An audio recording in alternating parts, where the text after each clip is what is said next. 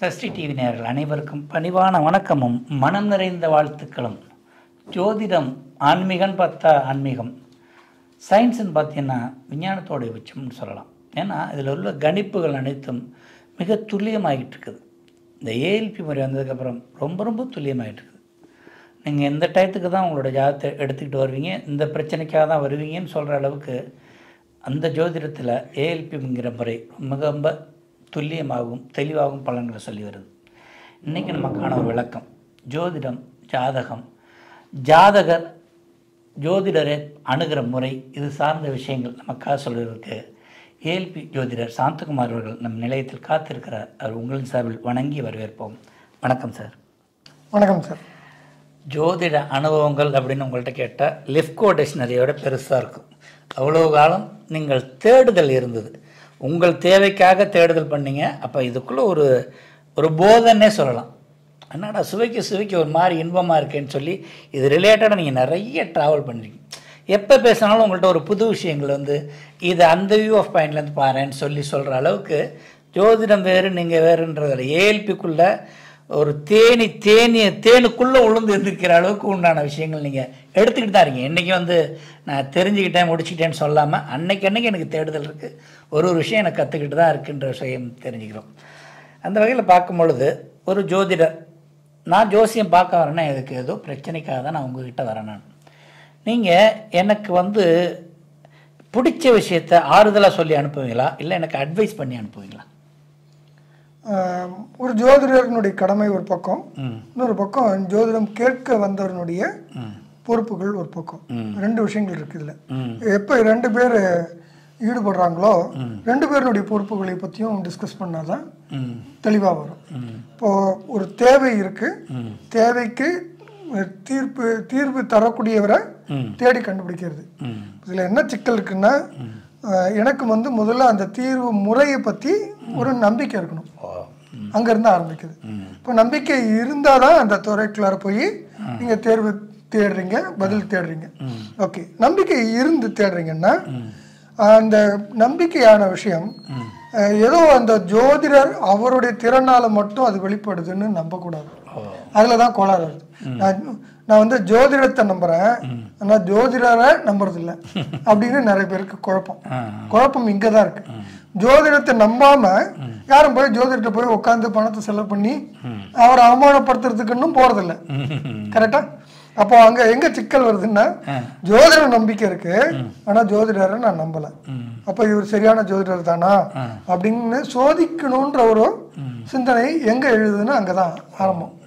கரெக்டா அப்போ என்ன பண்றாங்கன்னா ஜோதிடரை சந்தேகப்படும்படியான கேள்விகள் கேட்கும்போது அது அவங்களுக்கு பதில் என்ன தீர்வு தேடுறாங்களோ அதை டெலிவரி பண்ற இடத்துல அவரும் இல்லாம போயிடுறாரு.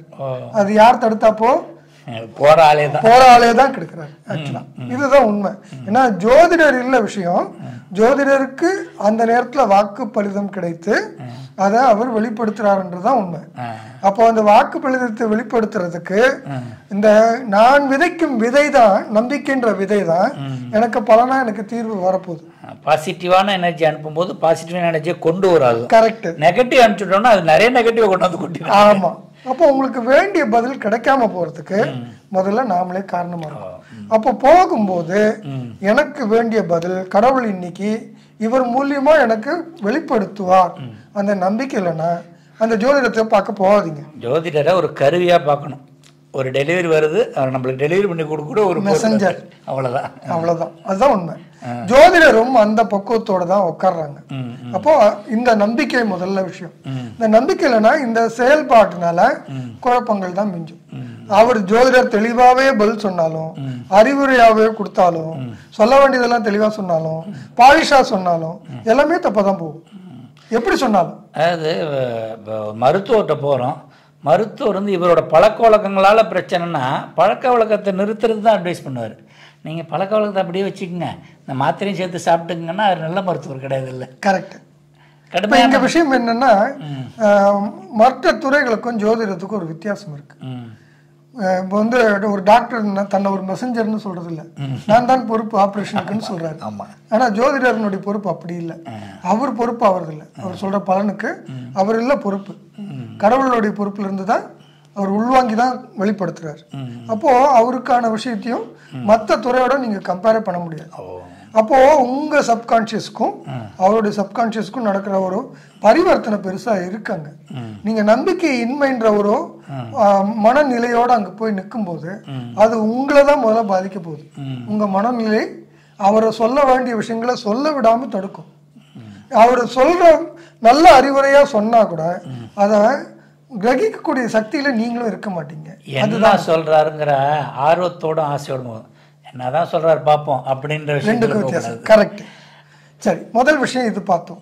அடுத்தது போய் உக்காந்தோம்னா அஹ், அந்த மனுஷன் எவ்வளோ பெரிய ஆளு?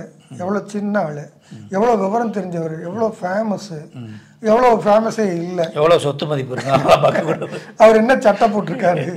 இதெல்லாம் இல்லை கணக்கு. சரிங்களா? அவருக்குள்ளா இருந்த கடவுளுடைய அருள் நமக்கு கிடைக்குதுன்றது தான். சரியா?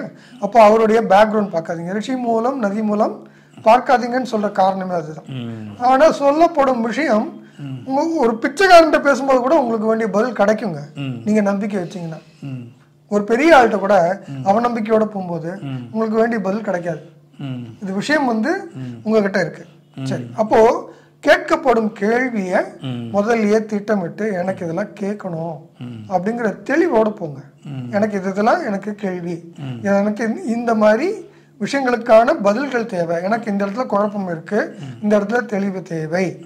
அப்படின்ற தெளிவு என்ன வேணுமோ அது கேளுங்க. ரைட் இப்போ கேட்டா பதில் ரெண்டு பக்கம் பதில்கள் எப்பவுமே இருக்கும். உங்களுக்கு நினைச்ச மாதிரியான பதிலும் கிடைக்கும். நீங்க செய்யக்கூடாது. உங்களுக்கு எதிர்மறையான பதிலும் கிடைக்கும். ரெண்டுமே உங்க நன்மை எது அப்படின்னா அதை தான் சொல்ல வேண்டி இருக்குது ஜோதிடர் கரெக்டா? அதை ஏத்துக்கக்கூடிய மனப்பக்குவத்தோட அந்த ஜோதிடரை அணுகுங்க. இவர் சொல்லிட்டாரு. இன்னொருத்தட்ட போய் ஒரு ஒப்பீனியன் கேட்டு இவர் சாதகமான? இவருக்கு சாதகமான பதில் வர வரைக்கும் ஜாதகத்தை தூக்கிட்டு அலையக்கூடாது. ஆமா. அது கூட பரவாயில்லைங்க. ஒரு சில நேரத்துல என்ன பண்ணுவாங்கன்னா எனக்கு இது நடக்கும் தானே? சூடத்தை கொளுத்தி சத்தியம் பண்ணி சொல்ல ஏய், அப்படி கூட பரவாயில்ல. இது எப்படின்னா இது நடக்கும் தானே. அப்படி நடக்கும் சொல்லு. அவர் சொல் நினைக்கிறத உங்க வாய் மூலியமா வாய் மூலியமா சொல்லணும்னு எதிர்பார்க்கறது. அது சொல்லக்கூடிய நிலை இருந்தா அவர் சொல்லட்டும். சொல்லக்கூடாத நிலை இருந்தா அவர் சொல்லாம இருக்கட்டும். அட்வைஸுங்கிறதாட்டி ஆறுதல் சொல்லலாம். நிறைய பேர் வாழ்க்கை விரக்தியா போயிடுச்சுங்க. வாழ்க்கையை நான் அதோட முடிச்சு ஆறுதல் எப்போ வரும்னு பாத்தீங்கன்னா நீங்க அவர்கிட்ட நம்பிக்கை காட்டினா அந்த ஆறுதல் வரும். என்ன அதான் சொல்றேன். என்னத்தை நீங்க விடுறீங்களோ அதான் திரும்ப எடுத்துக்கோ ஆமா. இந்த சூட்சுமம் புரியாம ஜோதிடர்கிட்ட போய் உட்காரும் போது உங்களுக்கு எல்லாமே நிறைய குழப்பங்கள் வரும். நீங்க வந்து அந்த ஆளை பார்க்காதீங்க அந்த உருவத்தை பார்க்காதீங்க. அந்த கடவுள் சுரூபம் அங்க இருக்கு. அங்க அந்த அருள் இருக்கு. அது எனக்கு பதில் சொல்லும் அப்படிங்கிற நம்பிக்கையோட போங்க. கேள்விகளை தெளிவா கேளுங்க. என்ன பதில் வந்தாலும் அதை ஏற்றுக்கொள்ளக்கூடிய மனநிலையோட போங்க. நல்ல ஒரு பதிவு சார். தொழில் ரீதியா படிப்பு ரீதியா மருத்துவ ரீதியா ஜாதக விளக்கங்கள் சொல்றதை விட ஒரு ஜோதிடரை அணுகிற முறை எப்படி அவள் எந்த நிலைமையில சொல்கிறா நீ எப்படி மனப்பக்குவத்தோடு போகணுங்கிற விளக்கங்கள் தெரிஞ்சுக்கங்க முதல்ல. உங்களுக்கு அதான் சொல்கிறேன்ல எனக்கு நேரம் இருக்குது காசு இருக்குது ஜாதகம் இருக்குன்னு எடுத்துகிட்டு போகிறத விட உங்களுடைய மனதை பக்குவப்படுத்திட்டு போகும்போது அவர் உங்களுக்கு அருமையான ட்ரீட் வச்சு அனுப்பிச்சி விடுவார். அவசர அவசரமாக பரிமாற மாட்டார். உங்களுக்கு பிடிச்சது என்னங்கிறத உங்களை பரிமாறி உங்களை திருப்திப்படுத்தி அனுப்புறது அப்படிங்கிறது. ஏன்னா உன்னுடைய எதிர்கால வித்தியை நீங்கள் கையில் எடுக்கிறீங்க. சாதாரண விஷயம் கிடையாது. வந்திருக்கிறோட எதிர்கால விஷயத்தை கையாளும் பொழுது அவங்களுடைய மனப்பான்மை தான் நம்மக்கிட்ட வந்து வார்த்தைகளாக வருதுன்ற ஒரு புதிய அனுபவம். ஜோதிட உலகத்திலேருந்து ஏஎல்பி புதுசு ஏஎல்பி சைடில் நம்ம இன்னைக்கு விளக்கின விஷயங்கள் ரொம்ப புதுசு. நேர்கள் சார்பில் உங்களுக்கு நன்றி தெரிவிச்சுக்கிறோம் நன்றி நன்றிங்க. ஏஎல்பி ஜோதிடர்கள் எப்போவுமே உங்களுக்கு நல்ல வழிகாட்டிகளாக இருப்பாங்க. ஏன்னா குருவனுடைய அருள் பெற்றவங்களாக தான் இருக்காங்க. ஜோ ஏஎல்பி படிக்கிறவங்கள. அது படிக்கிறதுன்றதே ஒரு வாய்ப்பாக தான் இருக்குது எல்லாருக்கும் அந்த நல்ல பதில்கள் நல்ல விஷயங்கள் நல்ல வழிகாட்டுதல் எப்போவுமே கிடைக்கும். ஏல்பி ஜோதிடர்கள் மூலிமா நன்றி. வணக்கம். என்ன நேர்களே? ஆச்சரியமாகவும் அதிசயமாகவும் இருந்தது அந்த பதிவு? ஜோதிடர் போய் பார்க்குறதுக்கு அப்பாயின்மெண்ட் வாங்கி வச்சுக்கலாம். எப்போ பார்க்கலாம்? எவ்வளோ பணம் போடலாங்கிற விஷயம்லாம் தாண்டி எப்படி அவர் அணுகணும்? நம்ம என்ன மாதிரியான அணுகுமுறையில் நம்மளுக்கு நல்ல பலன்களை சரியான பலன்களை துல்லியமான பலன்களை ஜோதிடர் சொல்லுவார். நம்ம கையில் தான் எல்லாம் இருக்குது நாம் மாறாமல் எதுவுமே மாறாது. நம்ம நல்ல எண்ணங்களோட நல்ல விஷயங்களோட அவங்கள அணுகுனோம்னா ஜோதிடர் நம்மளுக்கு பலமாக இருந்து நம்மளை வழிநடத்துவாருங்கிற விளக்கத்தை நீங்கள் தெரிஞ்சுக்கிட்டீங்க. இதே போன்ற வேறொரு நிகழ்ச்சியில் மீண்டும் சந்திப்போம். அதுவரை நன்றி. வணக்கம்.